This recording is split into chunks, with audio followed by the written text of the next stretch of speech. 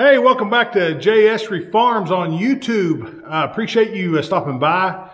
Uh, today we are working on another Honda pump engine.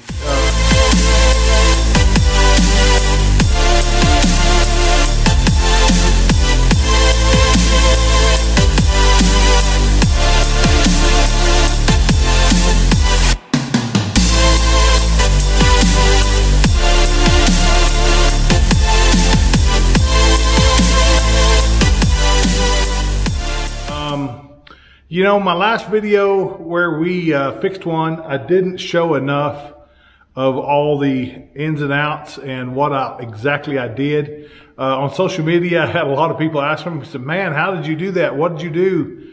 Uh, you know, how, you know, and, and, and, uh, you know, I didn't show enough of every little step that we did. So today we're going to do that. Uh, today I've got this, uh, don't know if it runs or not. they said it did last season. Uh, it come to me, another one of these little motors come to me with the carburetor off, uh, said it didn't run, uh, it needs a new carburetor or whatever they said. They said it just won't run. And so I said, okay. And they said, we're going to throw them away.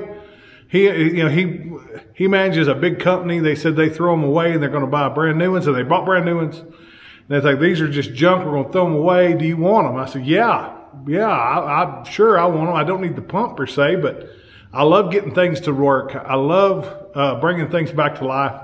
And I can always use another little motor on something uh, around here on the farm. So that's what we're going to do today.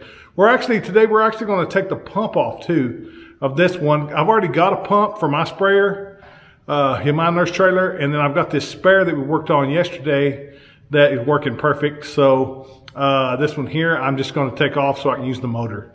Uh, and I'll probably put it on a wire roller or, or you know, there's no telling where I'll, I'll put it. But anyway, so today's episode, we're going to have some time lapse of uh, me working on this little motor. And I'll, I'll stop it every now and then and I will show you what I'm doing each step. That way you can kind of know if you've got one of these little Honda, Honda engines, they're excellent engines. If you got one that won't start, that, uh, just you're having trouble with running rough, you know, it gets hot and shuts off or, uh, you know, something like that. It's more likely several little low points that we're going to be touching today. So you might want to check that out. And for $34, maybe shipping maybe a little more than that, but for $34, you can buy everything that I'm going to put on this brand new uh, on Amazon. I'll link it in the description below. And you can have, you know, you can bring back to life your little motor whatever it's on, air compressor, uh, you know, whatever. So log splitter, it was whatever. But anyway, so here you go, and we're gonna we're gonna see if this little motor runs. It may not, but we're gonna see. We're gonna take a chance that it, it, it will. So here you go. Okay, so here is the little motor. Um, I don't know why both of them had long tails on their on their pull start clutches. We'll fix that today too. Uh, like I said, the the carburetor come uh, completely off the, the motor when I got it. I put all this on there to keep all the dirt out uh, that I could. I mean, it come with all these wires pulled off. Um, it's dripping gas here in my shop as we speak. So it, it comes just like we, we're showing it here. So, so you can see there the, the spark plug wire was off. And who knows what they was trying to diagnose, but we'll, we'll figure it out.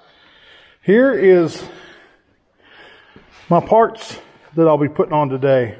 Of course, no, it's not a three cylinder motor, but this is what you get in this kit. One kit comes with two spark plug wires, or uh, spark plugs and the coil. The other one comes with carburetor uh, spark plug, this uh, oil safety switch, whatever it is, uh, the ignition switch, three, uh, three of the gaskets, this little block here that goes behind the carburetor, uh, a tank screen, uh, a fuel line, and here's the choke lever for the the deal, and it also comes with an air cleaner. So here's the coil, and of course the two spark plugs. Tools wise, we are using my metric set of uh, quarter inch, my John Deere. I don't have to be John Deere, but John, is my uh, quarter inch uh, ratchet set. Comes with the ratchet and all my sockets, deep wells, and light and extension. Uh, you know, my 10 millimeters missing there because I got it on this. I've got this uh, Milwaukee uh, cordless quarter inch ratchet. My 3 8 ratchet with a uh, 13 16 for the uh, spark plug.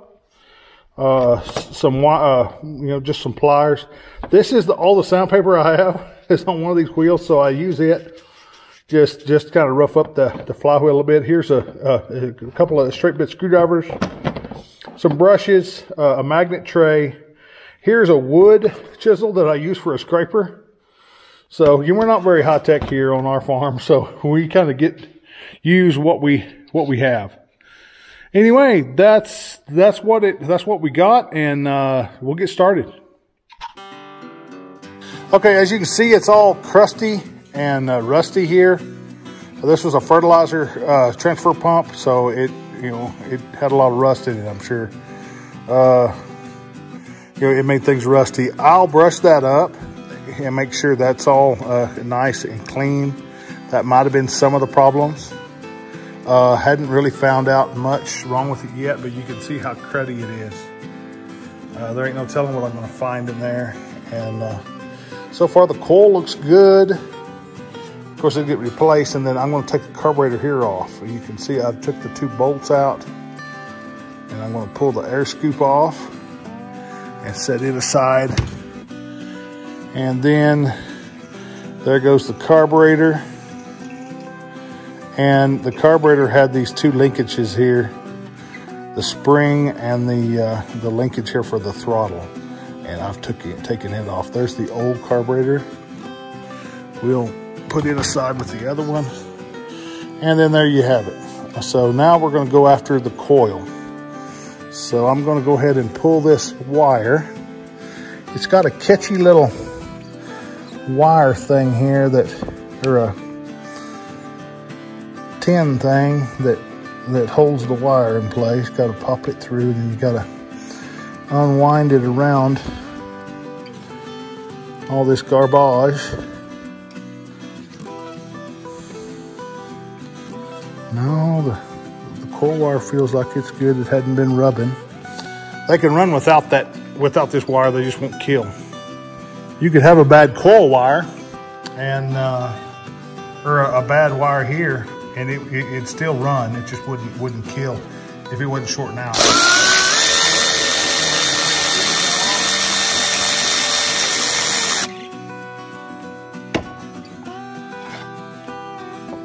These are my coil bolts, coil bolts.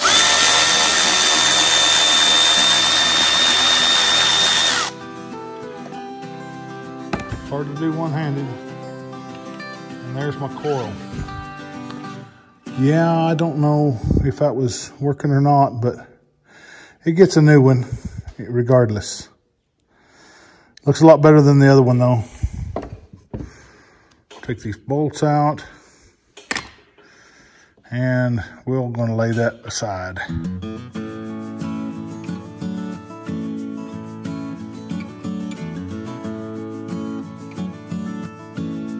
We're going to be blowing this off, and so make sure you stuff a uh, rag or you put some tape or something over this to make sure it doesn't get any uh, dirt in the engine. So you that's a, that's a must. So we're gonna we're gonna stop this up. And we're gonna blow this off with air and then we're gonna we're going to uh, uh, brush it up and uh, then then we're going to uh, uh, to put it put some uh, parts brake cleaner on it then we're going to blow it off again and then then we'll then we'll then we'll go back to assembly right now tear down other than this little bitty uh hoot is there other than that we're all done with tear down so it's it's all tore down other than spark plug than what I do to it. So we'll see, see, see what happens after we get it clean.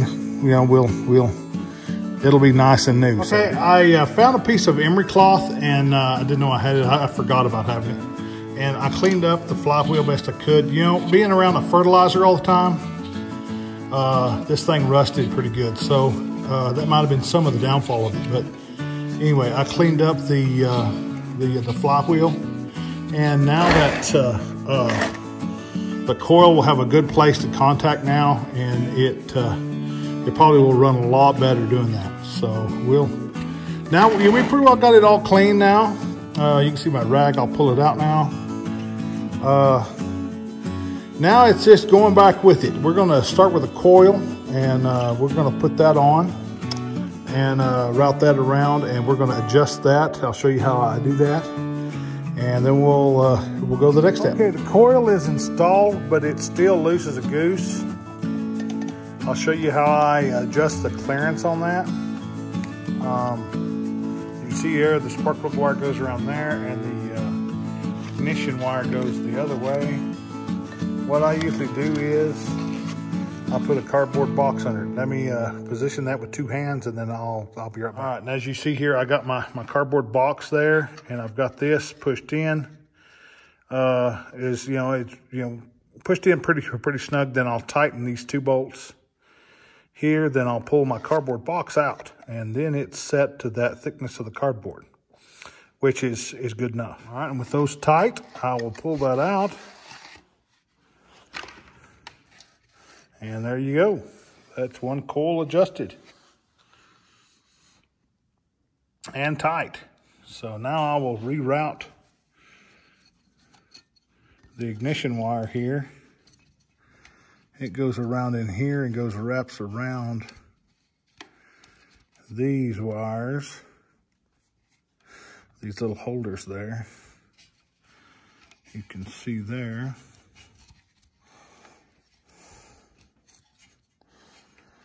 get this figured out. And then that little hard to uh, wire in deal must have broke off. But it used to be right on there somewhere. No worries. Now it'll go here for our ignition. So there, that step's done. Now, now let's go ahead and put in the spark plug. 13 16th socket fits that.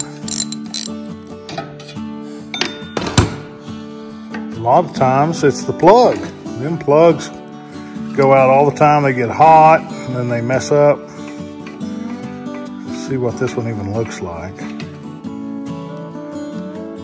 He looks pretty clean, but he gets a new one because we got so many new ones. So uh, we'll adjust that to uh, 0.028 to 0.31, I believe is the uh, uh, uh, adjustment on that. And I will uh, show you how we do that. we got ourselves a spark plug here and I went by my local O'Reilly's place and I got on my keychain a feeler gauge uh, in inches. And uh, I will slot this over to right there on the 0.30 needs to be uh, 028 to 31. So just right around that 30. And uh, that's all I'll do. And there's my measurement there. You can see there that I'm just a little over three, but that's where I mean, you can just wiggle it if it's smaller. If it's uh, too, you know, if your gap's too big, you can kind of lightly tap that. I mean, just barely tap the end of that down on the flywheel there and you can make that a little bit smaller. And I mean, you just barely got to touch it and uh, it'll make it a little, little smaller. But you can see that feeler gauge, it gets bigger as it goes over here. And that feeler gauge is right there at 0.031. So really 3.2. I might need to make it go down just a little bit. Let me, let me go ahead and do that.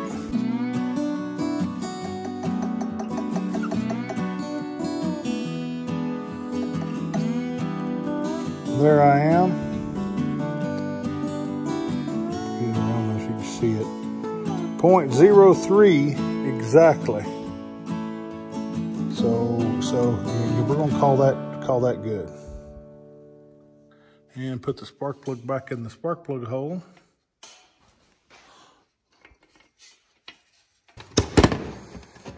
Trying to do this one-handed here.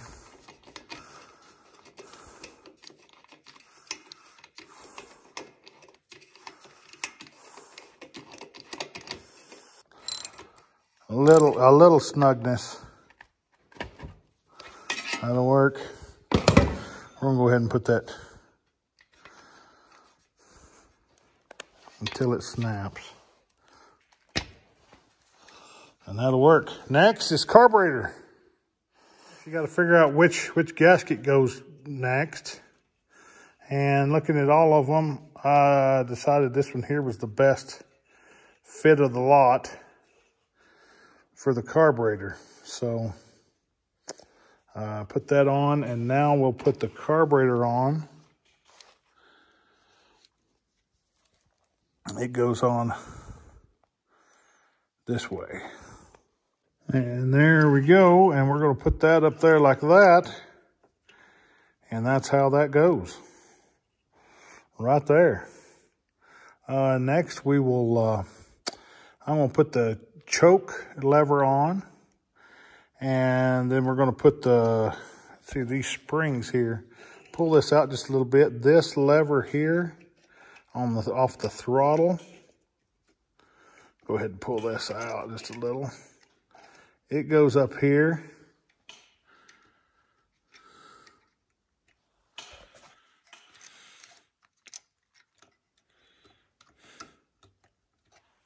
Sorry, I had to have two hands. Anyway, this one here goes in that little hole and it goes down in that. There's the throttle and the little spring hooks on there. So we'll push that in. All right, next is the uh, gas tank. We're going to get the gas tank uh, emptied. Uh, it, still has some gas in it, and we're going to change the little uh, screen in that. All right, with the tank upside down, we've put a socket wrench on the uh, strainer here, and we are taking this off. Probably wouldn't have to do this, but it come with it. And as it come with it, we're going to go ahead and take advantage of it. And while we, while we got the tank off, we're going to change it. You can see the little, it's fine. Ain't nothing wrong with it. But the new one's fine too. So we'll put that dude in there. And then it come with a brand new gas line. We'll put that on.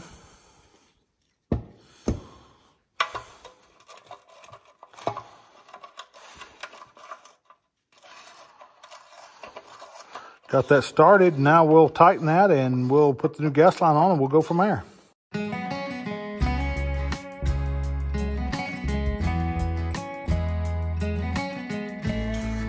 Right, and as you can see here, we got the fuel line on. It comes out and around. Uh, I've got this shuck over the line. I've got the tank on. I don't have it tight, but you can see the, the fuel line is on. And uh, there it is. And all that's set in there in place. See a little bit of dirt. Come on. But anyway, that little uh, spring and throttle, you can see that could change that, I guess, under there like it is there, but it's, it's really easy to take the tank off. They've got that, that bolt there and those two back here, so it ain't too bad. But it's starting to look like a motor again. We'll uh, button some stuff up on the tank. Uh, we'll button up the air scoop uh, and then we will uh, put on the, the shield and, and, get some wiring done. So so we'll we'll be doing that next. Well, there we have it. Uh, we got the air scoop on, the carburetor in. I had to carburetor back off. I put the wrong gasket on, so uh, anyway, I had to take it back off and uh, uh, change it and figure out which one went where, went where, and put it back on. But anyway, that's got the air scoop on of course, you can see the, the carburetor there is on.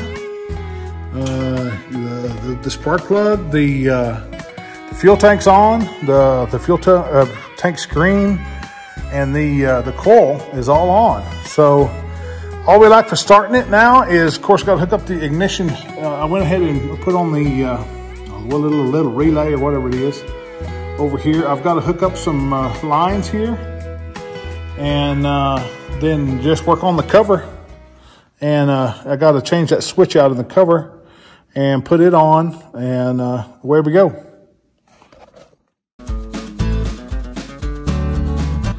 Okay, we got it done. So we're gonna try it and see what happens.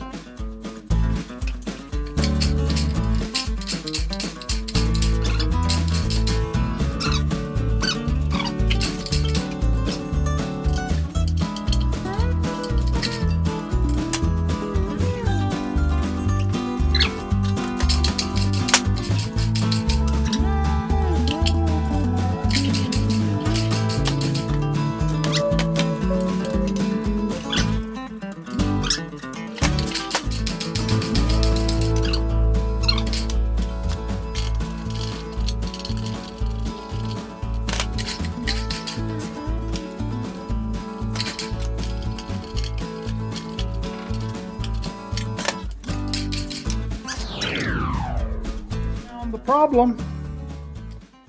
Looky there. Rocker arm fell off. It's a little pushrod tube. Here's a rocker arm. it won't run without that. so we're going to have to fix that. I don't know how come it come off, but it did. We'll put it back on and see what happens. Well, I went to start it and it just felt like it didn't have no compression and uh, was not firing. It would backfire every now and then. Did know, not know why.